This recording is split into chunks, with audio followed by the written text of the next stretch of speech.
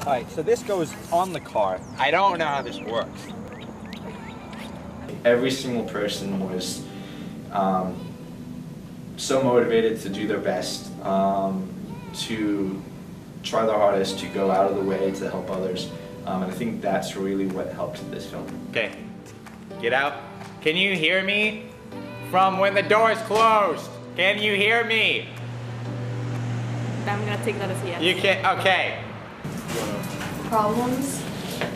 Just us getting tired, beating, trying to beat the sun, you know, trying to get the perfect uh, angle and shot before we lose the lighting and everything.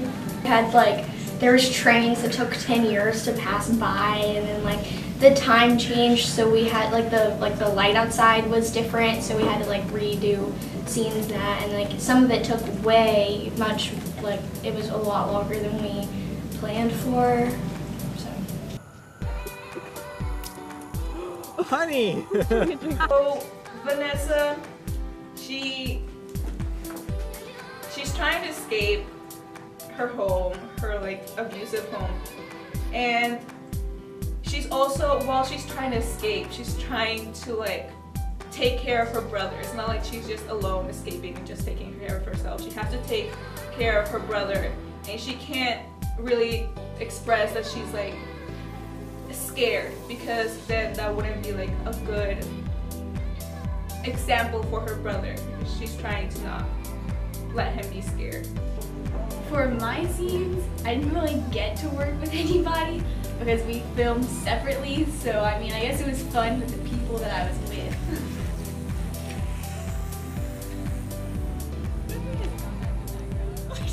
Uh, It's still recording. So. Nothing. What'd you say? huh? Just look up. Stop!